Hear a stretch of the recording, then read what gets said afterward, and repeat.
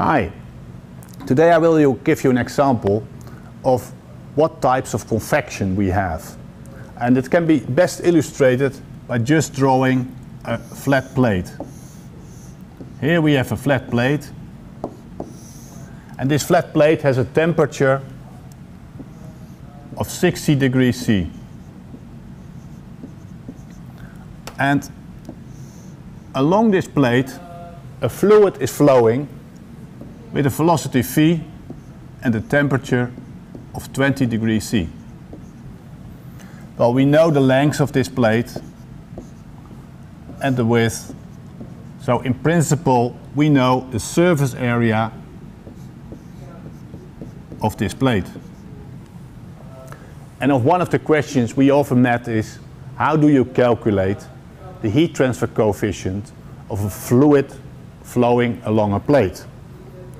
Well, in this case, we have many times already seen that we, you have to look up the Nusselt correlation along a flat plate.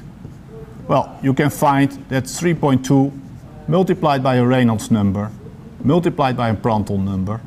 And then the question always is, which are the components, which power is the Reynolds number and which power is the Prandtl number? Well, the Prandtl number is in many cases one third or one fourth.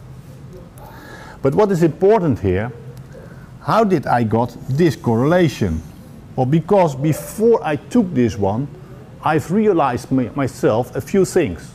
First of all, I realized, do I have a laminar or turbulent flow? Because depending if I have laminar or turbulent flow, I had taken another expression for the Nusselt number. So first you have to realize, do I have here turbulent flow? Well, let's assume we have turbulent flow here. Now it becomes more easy. If we know, can calculate the Reynolds number, we know the Prandtl number, you can derive easily from the Nusselt number the heat transfer coefficient. Well, this is a typical affection, what we call from forced convection. Forced convection. But you can imagine that this plate, if the velocity is zero or very low, that you can also imagine that the fluid here at the surface of the plate is hot and above it is cold. So we have also a contribution of free convection here. A free convection is directly related to a density difference between the plate and between the surface above it eh, and the air. Well, how do we calculate the heat transfer coefficient for free convection? Well, for free convection, you get a similar case. The Nusselt number is a function the so-called Grashof number and the Prandtl number. This Grashof number is in fact a ratio of gravity and buoyancy and what you will see is there will be a characteristic length and gravity constant in it, a kinematic constant, kinematic viscosity squared, multiplied by a value gamma multiplied by delta t. And this gamma is the cubic expansion coefficient, which is defined by 1 over v dv dt. For an ideal gas, for an ideal gas, you can see that this is equal to ideal gas is 1 over t.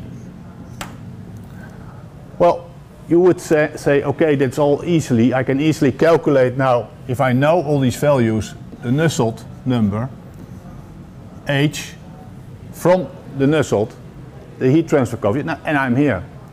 But one of the things that you will encounter is the question, by which temperature do I have to take all my physical quantities, like viscosity, like density, and all kinds of things?